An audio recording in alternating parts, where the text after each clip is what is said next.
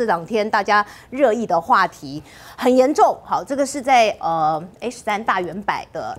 宝林茶室的食物中毒情况哦，目前是持续扩大，那已经有两人死亡，好，那在还是不断的在增增加一些呃伤者，那甚至呃听说有五位已经在呃 ICU 哦，就是装叶克膜了，这个情况嗯很严重，呃，包括还有人说呃。有有有人也是吃了这个国仔条哦，在台南这个五十岁女子结果出现了茶色尿，但目前意识还是清楚。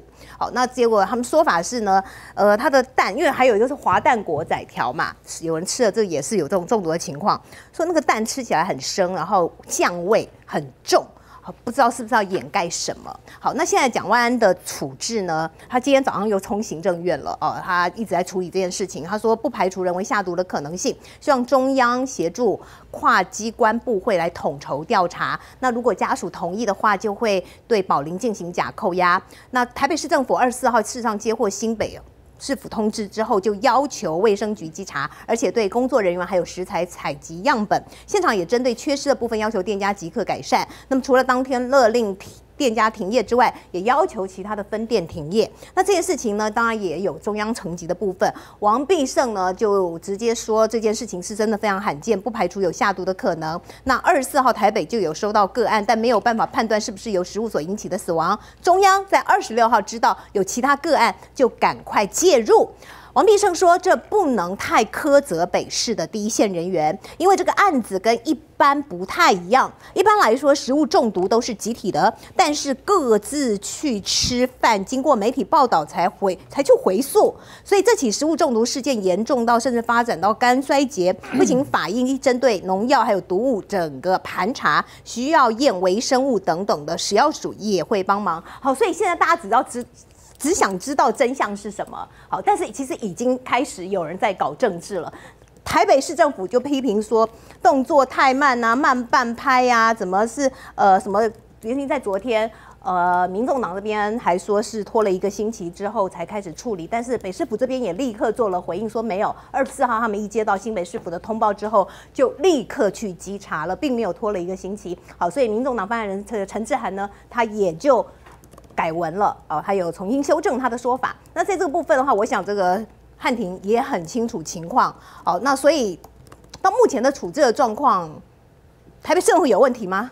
首先，这个王必胜难得说出了一个大实话，就是在北市府在这一次没有必要去过度苛责，因为做的都非常的好。只不过呢，他还有一件事讲错，他说中央是二十六号收到通知，不是，是二十四号中央也收到通知了啊。不过呢，就是就中央的角度，二十四号收到通知，二十六号跟北市一起稽查，我也不认为有过度的慢。所以在这一次事件当中，我先讲结论，就是呢，没有就不论是台北市或者是新北市，甚至是中央在处理上，没有人特别怠慢。好，那可是呢，就有一些人马上要来做政治风向，比如王定宇，今天四个小时之前，他说呢，为什么三一九就有命为案例？然后到了二十七日才有动作，这就是造谣假讯息。首先呢，老实跟大家讲，就台北市政府自己最早接获到的案例是什么呢？北市府最早接获到的案例是三月二十二号用餐，三月二十三号就医，三月二十四号不幸亡故。三月二十四号的星期天上午十一点五十分，台北市卫生局接到了第一例由新北市通报的案件，然后呢，当天的下午立刻到现场进行稽查。三月二十五号，卫生局持续和医院来进行沟通，也跟这个民众进行沟通。三月二十六号，卫生局与中央卫福部共同到现场稽查检验，同时呢，六点半。立即要求信义区的宝林茶室立刻停业。到了三月二十七号，就是所有的宝林茶室所有分店全部都停业。所以就这个速度来看，三月二十四号接到了通报，下午就去稽查，隔天跟医院了解状况，隔再隔天就要求停业，再隔一天就全部都停业。这个速度没有任何的迟缓跟怠慢之处。到了三月二十七号，还有一堆人在扯，哎呀，你这个什么慢半拍啊，没停意啊，这就是罔顾事实。他们现在最常讲的说法呢是讲，哎，三一九就有人吃东西了，你怎么到三二四才接到动作呢？当中是否有问题？三一九的这名个案啊，他三月十九号去吃饭，他三月二十一号的凌晨四点紧急送到星光医院抢救。嗯，所以请问三月二十号他都没到星光医院，北市府要怎么知道这件事情？再请问，三月二十一号凌晨四点，他送到星光医院抢救，短时间恶化成为肝衰竭、败血性休克、肝指数破万、血液偏酸。请问医生要如何在三月二十一号第一时间判断这是所谓食物中毒？就你不能苛求第一线的医护人员在短时间之内，在抢着急救的过程当中，立刻判断这叫做食物中毒，因为呢，这案例太特殊。过往我们认为的食物中毒，大部分就是呕吐啦、上吐下泻，对，上吐下泻啊，哪有到食物中毒是肝肾衰竭的？就一个人肝肾衰竭，然后呢败血性休克，不会立刻联想到食物中毒，这个不能去苛责医护。所以到三月二十四号是有第一名不幸的亡故之后，就立刻通报给了新北，就立刻通报给了台北市，也同时通报中央，所以医护的通报没有问题。而卫生局接到了通报，立刻到现场稽查，也没有任何的问题。那你说这个，呃，所以现在啊，现在如果在讲说所谓的通报系统慢半拍的啊，比如说吴思瑶此聊，对吧？你看这个慢半拍，他骂的其实不是台北市，你骂的是医护，哎，哎，你说为什么三二四才通报？三二四之前归谁管？三二四之前归医护管呢？嗯，三一九吃饭，三二一送医，他三月二十一号才送到医院。那二十一号到二十四号在干嘛呢？在救人呢，在救人呢，这有什么问题呢？三月二十一号才送医，然后再干嘛？在救人呢？而且对于个案的这个医院来说，他只收到了这一个。通常我们讲说，赶快通报什么？你一家医院同时收到几十个或数人，对吧？都是上吐下泻，很容易判断啊，是不是食物中毒？对每一家医院来说，他都是单独收到一个人，然后都不是食物中毒的症状，你怎么可以去苛责他，要求他立刻知道这是食物中毒？强人所难。同时间呐，就这个时间点啊，这个绿色的政论节目，其他的台北市议员也讲说，哎，那你三二四收到通报啊，你三二四为什么卫生局没有办法马上就去这个呃把这个归压条给拿走啊？那怎么这个没有要求马上怎么样啊？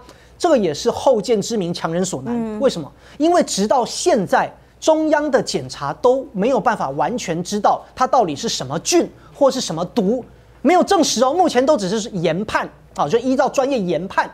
然后呢，是到了现到了三月二十六号才知道，因为案例很多了，才知道哦，你们都吃了龟鸭条，你们都吃了河粉，所以这都要等到三月二十六号病例很多了才知道，应该是龟鸭条出问题。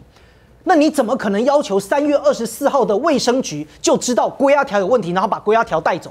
所以三月二十四号卫生局他只能依照既有的流程，现场的盘点，然后问一下厨师的状况。这是连今天薛瑞元都说没有问题，因为按照流程来。对，好，那当然你们讲说，哎，不能够只帮台北市政府说好话，有没有一些该精进之处？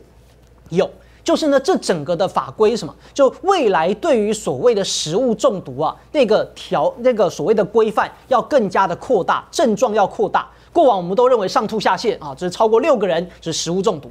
但比如说，那只有五个人的话，是不是也能够符合到食物中毒？或者呢，就你不是这些症状，是像我们今天讲的这些什么肝肾的衰竭，是否也要进入到食物中毒的这个层次？这个要规范要扩大一点，否则的话呢，也可能陷入到官僚的问题啊。只有这个上吐下泻才是食物中毒，那没有上吐下泻就不是食物中毒。这个某种程度上也可能会落入官僚的这个作风。所以这是未来不仅是卫生局啊，这全台的规范都要因此而做修正。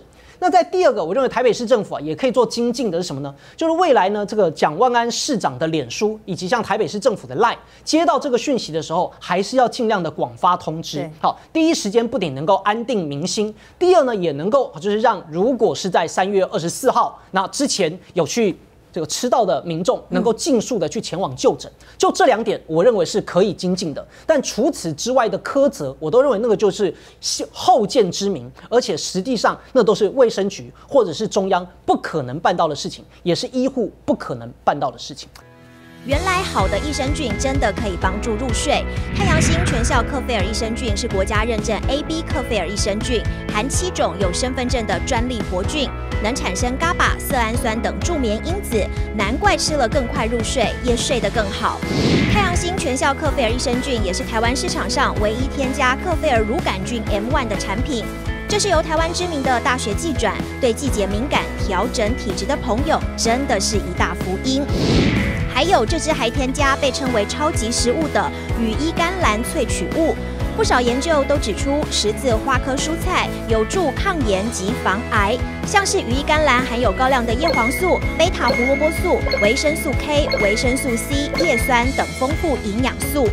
太阳星全效克菲尔益生菌专利制成，无塑化剂、无重金属、无人工添加物、无四百一十项农药、无香料调味剂、无防腐剂、无色素，七大保证、七大认证，觉得好安心。每日克菲尔时刻美好，Good Feel Feel Good，快点购下单！太阳星全效克菲尔益生菌。